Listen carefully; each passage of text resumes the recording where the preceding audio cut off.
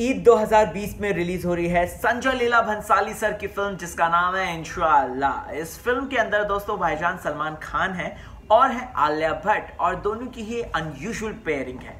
अब आपको इस वीडियो में कुछ इंटरेस्टिंग पॉइंट्स बताना चाहता हूँ मैं फ़िल्म के, और ये एकदम एक्सक्लूसिव पॉइंट्स हैं। तो सबसे पहले नमस्कार, स्वागत है आप सभी का आपके फेवरेट चैनल में। मैं हूँ राहुल भोज, आपका होस्ट एंड दोस्त।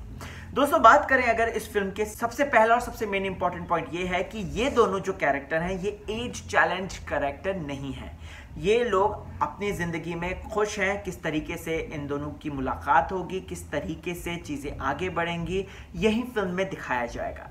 आपको बताना चाहता हूँ दोस्तों, जहाँ पर सलमान भाई इसमें एक बिज़नेस टाइकून की भूमिका निभाएँगे और वहीं आलिया भट्ट जो है, वो एक उभरती हुई सिने अभिनेत्री की भूमिका निभाते हुए नज़र आएँगी। पहला इंपॉर्टेंट पॉइंट दूसरा पॉइंट दोस्तों जो है, वो ये है कि इनशाला सलमान खान की ज़िंदगी की अब तक की सबसे ज़्यादा रोमांटिक फ़िल्म होने वाली है। आफ्टर ऑफकोर्स हम दिल दे चुके सनम या इक्विवेलेंट टू हम दिल दे चुके सनम। हमने देखा है भाई ज़्यादातर एग्रेसिव कैरेक्टर्स निभाते हैं, हम देखा है भाई ज़्यादातर यू नो मर्द वाले कैरेक्टर निभाते हैं, एकदम जैसे एकदम धक्कड़ वाले कैरेक्टर्स तो ऐसे में आपको बताना चाहता हूँ, भाईजान सलमान खान इस फ़िल्म के अंदर अपने बेस्ट रोमांटिक एंगल में नज़र आएँगे और वो सिर्फ़ और सिर्फ़ संजय लीला भंसाली सर ही निकाल के ला सकते हैं। बात करें अगर दोस्तों इस फ़िल्म के बारे में तो इस फ़िल्म में सेम वैसा ही हमें नज़र आएगा जैसे समीर हवा का झोंका वाला कैरेक्टर था उनका, यानी कि हम दिल दे चुके सनम वाला कैरेक्टर तीसरा सबसे बड़ा पॉइंट जो है दोस्तों, इसमें यह है कि आलिया भट्ट पेट्रीफाइड हो जाती हैं जब भी वो सलमान खान से मिलती हैं। सलमान खान से मिलने के लिए और प्लस उनके साथ काम करने के लिए आलिया जो है, वो बन जाएँगी नॉन शटलेंट। यानी कि उन्हें कुछ भी महसूस नहीं हो रहा है, कुछ भी फील नहीं हो रहा है और वो सिर्फ़ और सिर्फ़ अपने काम कर रही हैं।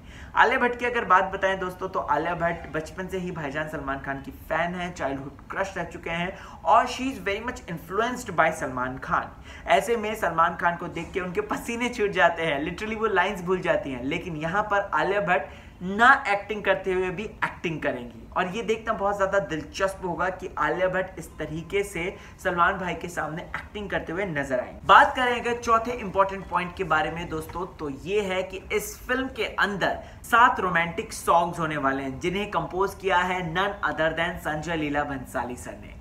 मोहे रंग दो लाल या फिर आली अप्सरा आली या फिर अगर बात कर आ, ये मस्तानी मस्तान बाजीराव मस्तानी के सॉन्ग्स ले लीजिए। सारे ही सॉन्ग संजय लीला भंसाली सर ने प्रोड्यूस किए हैं, संजय सर ने ही दोस्तों कंपोज किए हैं।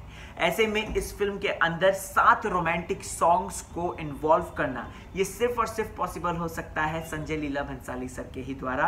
और प्लस खबरें तो ये हैं दोस्तों, जिन लोगों ने सॉन्ग सुने हैं, वो कहते हैं कि संजय सर के अब तक के बेस्ट सॉन्ग में से एक सॉन्ग है इस फ़िल्म के अंदर। तो भाई, सुनने में दिलचस्पी तो बनती है बॉस पांचवा सबसे मेन इंपॉर्टेंट पॉइंट है दोस्तों कि संजय सर जो हैं, अपने देश से बहुत ज़्यादा इंस्पायर्ड रहते हैं और ज़्यादातर उनकी फ़िल्में देश पे ही शूट मतलब कि भारत के अंदर ही शूट की जाती हैं एक्सेप्ट हम दिल दे चुके सनम, जिसके लिए वो बाहर यूरोप में गए थे। बताना चाहता हूँ दोस्तों कि ये उनकी दूसरी फ़िल्म है जो कि बाहर के देश में शूट होगी।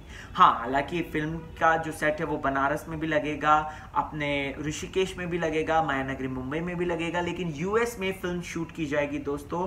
कैलिफ़ोर्निया के बीचेस ले लीजिए या फिर ओलैंडो सड़क ले लीजिए, वहाँ पर फ़िल्म की शूटिंग की जाएगी। और संजय सर की ज़िंदगी की ये दूसरी फ़िल्म बनेगी जो कि अब्रॉड में शूट की जाएगी। सिक्स पॉइंट मैं जो बताना चाहता हूँ दोस्तों, वो ये बताना चाहता हूँ कि सलमान भाई इसमें सीन लाइक बिफोर अवतार में नज़र आएँगे। सूत्रों से पता चली है बात दोस्तों कि संजय सर ने इस तरीके से सलमान खान के कैरेक्टर को बनाया है कि आप लोग सभी इस कैरेक्टर को एक ही नज़र में देखकर इसके प्यार में इन्वॉल्व हो जाएँगे, इसके प्यार में गिर जाएँगे, क्योंकि ये कैरेक्टर इसी तरीके का बनाया गया है।